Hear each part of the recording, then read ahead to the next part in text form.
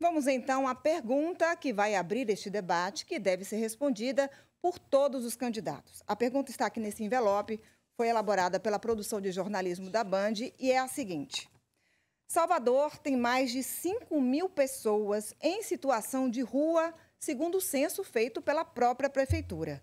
São homens e mulheres, muitos com crianças, que perambulam principalmente no centro da cidade, como a Avenida 7, Politeama, Canela, por dia e por noite. Algumas iniciativas já foram tomadas, como o caso do kit moradia, mas o fato é que o problema persiste e está aos olhos de quem circula por esses locais. Se eleito, como o senhor pretende resolver isso de maneira mais ampla? Pela ordem, então, do sorteio, o primeiro a responder é o candidato Kleber Rosa, do PSOL. Candidato, então, o senhor tem dois minutos. Boa noite. Boa noite, Carol. Obrigado pela pergunta. Já te desejo uma boa condução, um bom trabalho nessa noite. Saúdo também os candidatos Geraldo, o candidato Bruno. Recomendo que a gente contribua aqui para um debate de alto nível, que seja dessa forma e que seja bom para o nosso povo e para a nossa cidade. Bom, eu sei que muita gente que está acompanhando ainda não me conhece. Meu nome é Kleber Rosa. É um prazer estar aqui podendo me apresentar um pouco melhor agora para vocês, defender nossas propostas. Eu sou uma pessoa de origem humilde, sou filho de um homem sem teto, que nunca teve uma casa própria, e de uma mulher sem terra, que precisou vir para Salvador desde cedo, ainda com 16 anos, trabalhar como empregada doméstica e devo dizer que sobre essa realidade, Carol, eu conheço bem. Infelizmente, na história da minha família, minha mãe viveu na rua com sua mãe e seus irmãos pequeno antes dela vir para Salvador. E isso é algo com que eu convivi a minha vida conhecendo essa realidade com muita dor, com muito sofrimento e, obviamente, com uma empatia diferenciada por saber exatamente o que significa ser filho de uma mulher que já tem tido a experiência de viver na rua e passar praticamente a minha vida toda sem ter uma casa própria. Eu sei exatamente o que é chegar no fim do mês e ter que escolher entre fazer o mercado ou pagar o aluguel. Para mim, garantir que essas 5 mil pessoas tenham moradia digna é prioridade. A minha vice, Dona Mira, é uma ativista fundadora do movimento Sem Teto em Salvador e tem um histórico acúmulo de luta pelo direito à moradia, inclusive mora numa casa conquistada pela luta do movimento Sem Teto. Fazer uma grande plenária é, em Salvador, uma grande convenção com os movimentos de moradia e ter um movimento próprio, perdão, um programa próprio para além do Minha Casa Minha Vida, um programa municipal que garanta a moradia digna e um lar para todas as pessoas na nossa cidade do Salvador. Obrigada, candidato. Então vamos ao próximo a responder, que é o candidato Geraldo Júnior.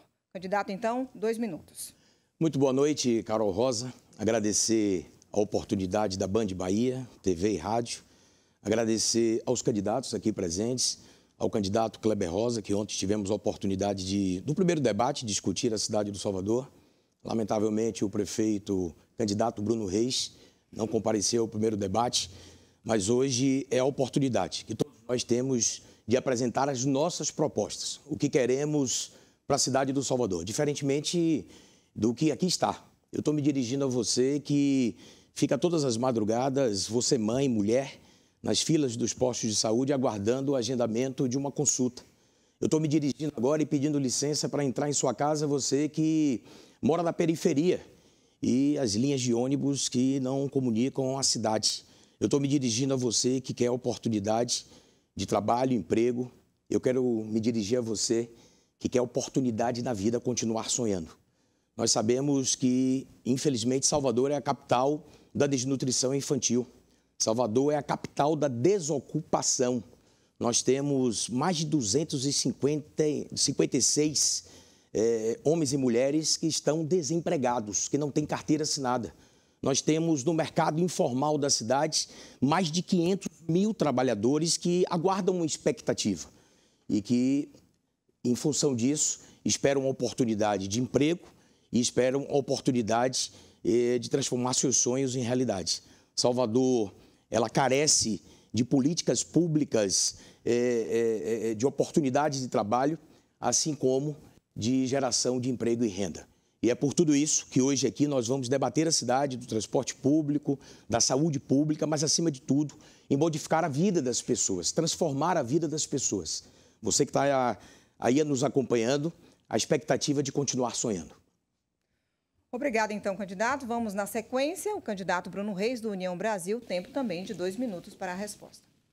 Boa noite, Carol. Boa noite a todos que nos assistem. Boa noite, Kleber. Boa noite, Geraldo. Parabenizar a Band pelo primeiro debate, esse que tradicionalmente é o primeiro debate oficial das eleições. Que pena o candidato não falar nada sobre as pessoas em situação de rua, porque ele não conhece este assunto. Fala da Salvador da época que eles governavam. Mas a pergunta é sobre você que está em situação de rua. E é você que eu quero me dirigir. Quando nós chegamos para governar essa cidade deixada por eles, Salvador tinha apenas 100 vagas para pessoas em situação de rua. Era essa a política que a cidade tinha. De lá para cá, fizemos uma verdadeira transformação. É verdade, com a pandemia, houve um boom no Brasil como todo no aumento das pessoas em situação de rua. Mas aqui em Salvador, após o primeiro censo da história que nós realizamos, identificamos 5.300 pessoas em situação de rua. E sabemos agora precisamente o grau, a situação e o estágio em que está cada um. Quando a pessoa está em situação de rua porque está desempregada, a primeira porta de entrada é a unidade de acolhimento. Temos 1.400 vagas. Lá a gente tira documento, orienta para o mercado de trabalho, coloca depois no aluguel social, que era 100 reais na época deles, e agora é 400 reais com kit moradia. Se está no caso mais grave, como a dona Ana Cristina que eu tive essa semana, tem uma moradia assistida com acompanhamento psicossocial. Se está ainda no estado dependente de substâncias psicoativas, nós temos 385 vagas para acolher essas pessoas. As pessoas em situação de rua aqui em Salvador vão para os aluguéis sociais ou para as unidades de acolhimento e só sai quando recebe a moradia definitiva. É público prioritário do programa Minha Casa Minha Vida e a Prefeitura, em todos os empreendimentos que constrói, disponibiliza vaga para as pessoas em situação de rua. Nós vamos trabalhar muito para mudar esta realidade.